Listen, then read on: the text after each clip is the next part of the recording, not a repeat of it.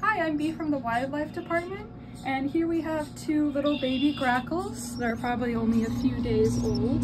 Um, their nest got destroyed when a guy was doing some maintenance in his yard. He cut down the tree, um, and unfortunately there wasn't anywhere that we could put these guys back for their mom to be able to continue feeding them, so he brought them in.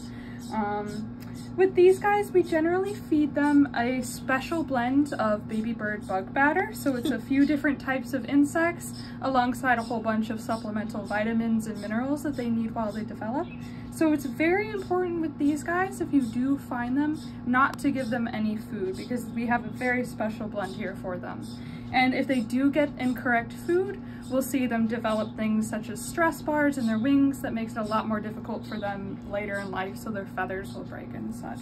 So when feeding these guys, we want to encourage them to gape, which is when they open their mouths wide for food. You can see right there he has that bright red mouth. Look at that little tongue. So these guys have extra bright red mouths because they tend to be uh, nesters in darker areas.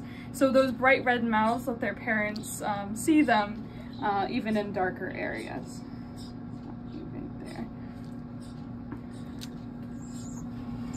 Well, thank you, Bee. This was so awesome.